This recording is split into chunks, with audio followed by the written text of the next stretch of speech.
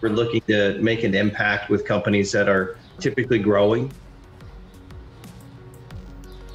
Worth Davis. I'm the president of Computex, the solution provider business. We focus on a little bit longer part of the relationship. We try to bring in technologies that we've vetted and that will be successful for clients and try to bring in enterprise solutions as well as managed solutions into there specifically around three areas. The first one's really that enterprise architecture. When, so when someone needs a new set of cloud or data center to advance their business goals. The second part of it is we're heavily embedded in the cybersecurity side of things, which leads really into our third part, which is kind of a, everything is a service. So really along those three pillars is, is what we do.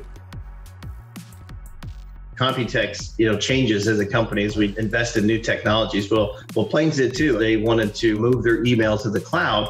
We had done that for other companies. We built out multiple plant sites for them and their networking and connectivity, as, as well as their backup data centers. That's at uh, one of their facilities as well. One, we did good work with them, and it was very enjoyable to work with them and have a level of trust. But then also, we've stayed relevant with the changes in the market so that we actually can bring new expertise to them, um, you know, as they need it as a business.